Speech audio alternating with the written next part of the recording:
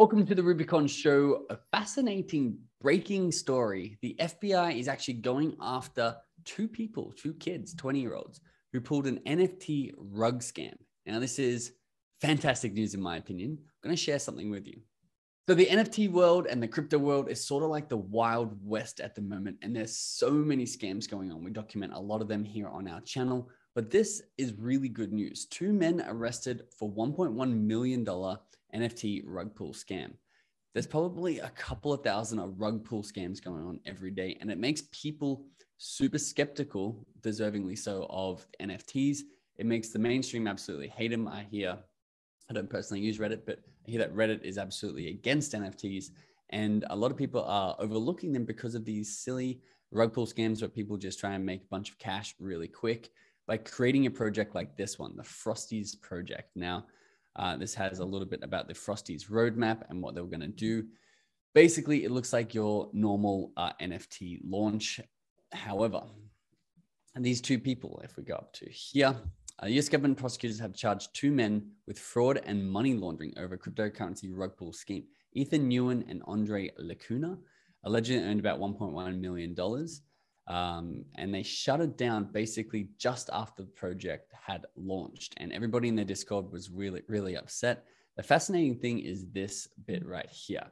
So this says, Hey, Gary, I know this is shocking, but this project is coming to an end. I never intended to keep the project going, and I don't have a plan for anything in the future. This is why the project is coming to an end. So this is one of the founders, Andre or Ethan, actually uh, messaging their Discord manager, the guy who's in charge of managing their Discord.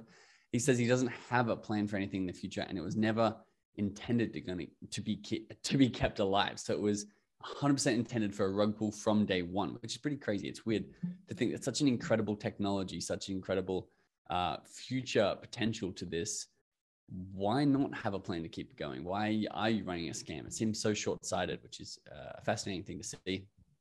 Um, he says, I know you've been going through a hard time, so I wanted to do something to help you out. I know this won't gain regain your trust, but I sent you some Ethereum for your trouble. So he sent him some of that hot money from the uh, from the 1.1 million dollar rug pull scam. I don't know if Gary really wants that. That might, although it's not publicly feasible, it's not uh, it's not really what you want to hold on to these other people's money um, and funny enough too uh, the frosties or the embers i think it was a sort of like a joint launch roadmap included a $50000 charity donation over here and they did actually go ahead and um, donate that to the red cross interesting i don't know why why would you run away with other people's money but give the red cross their money uh, i guess that's where their moral line is but all in all, this is fantastic for the industry because people are going to be more accountable. And when people are more accountable, they're going to be better people to their peers and to people they're selling to and to people they're creating with. So this is a massive step forward.